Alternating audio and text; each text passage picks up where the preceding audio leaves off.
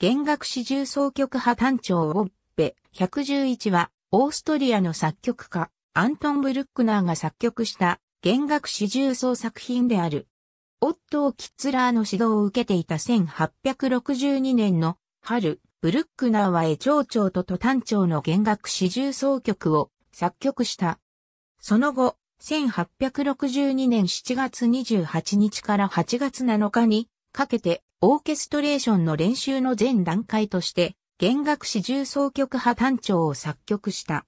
弦楽四重奏曲派単調の趣向はキッツラーの練習帳の165から196ページに掲載されている。その一週間後にブルックナーの作品を批評した際、キッツラーはブルックナーが最初のロンドで型破りな演奏をしたことに不満を持っていた。そこで彼は、より大きな形式で、より伝統的なロンドソナタの形式でロンドを作れば、この作品のためになるだろうと提案した。この40小節の長い曲は、第1番のロンドと同じ調整、調整、形式的な構造を持っているので、第1番のロンドの代替品と考えることができる。この四重奏曲は、ブルックナーがキッツラーに学んでいた時の終作的な位置づけにあったことから、ブルックナーの生前には出版されていない。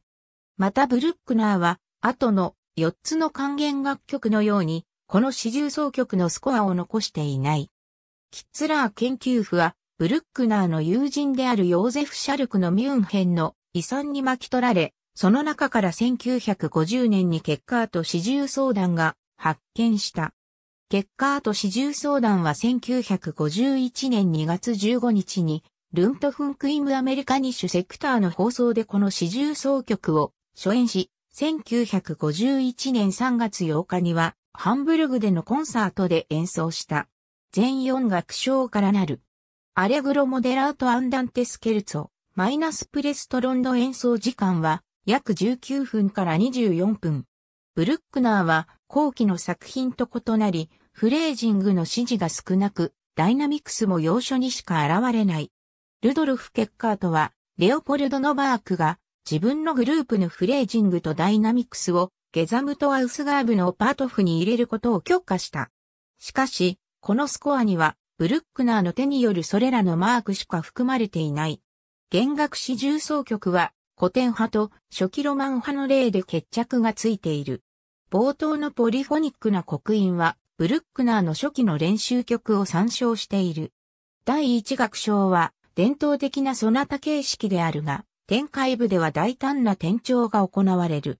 ブルックナーの作品でこのような繰り返しがあるのは、他に、公共曲へ単調だけである。第二楽章のアンダンテは、破単調のアレグロの後に、ベートーベンが感情楽章のために選んだ調整を反映した三部構成で、中央部を平行単調にすることは、その後、ブルックナーが二度としないことである。第三楽章のスケルツォのトリオは、レントラー形式である。